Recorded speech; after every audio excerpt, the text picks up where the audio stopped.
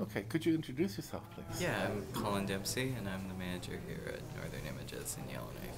How long have you been manager here? Ooh, seven months now. Oh, good. Congratulations. Thank you. So this is this the first time then that you've uh, been through one of these uh, print launchings? then? Through a new Dorset opening, yeah.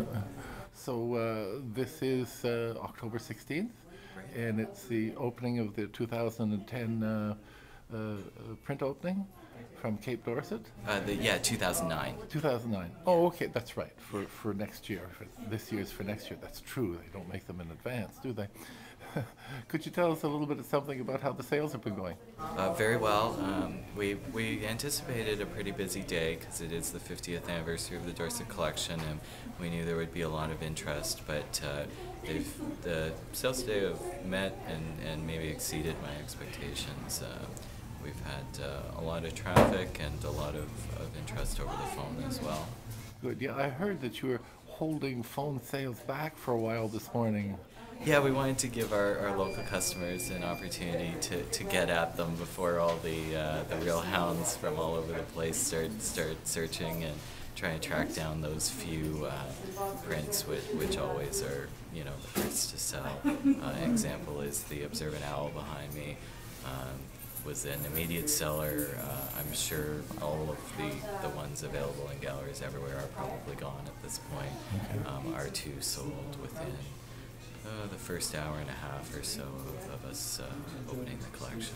Was did, did did a local person get one of them? One, uh, actually, well, in a way, one local visitor from, from Vancouver, but uh, and and the other one's going to Calgary. So unfortunately, neither will be staying in Yellowknife. So their uh, their trip to uh, Yellowknife paid off for them. It, it certainly did because they were able to take advantage of that hour of exclusivity that I offered to walk-in customers. So.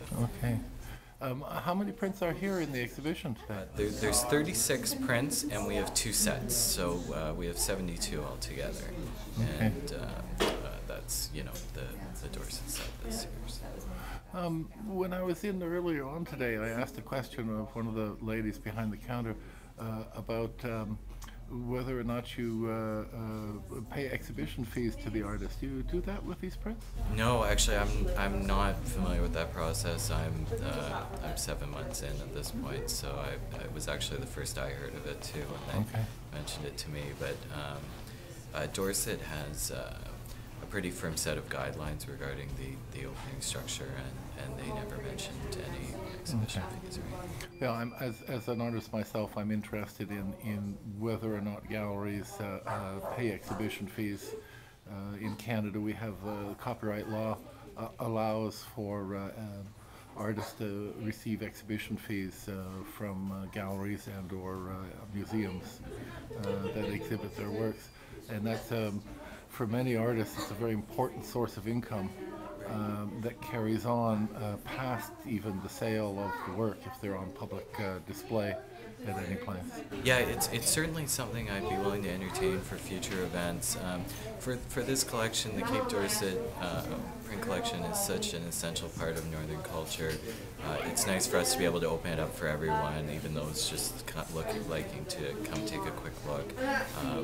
But uh, you know, we certainly try and do everything we can for the artists. Uh, being part of a cooperative company, we try and do as much uh, for the artists and give them as much for their work as we possibly can, and, and sell as many of their pieces as we can so that they see more money too.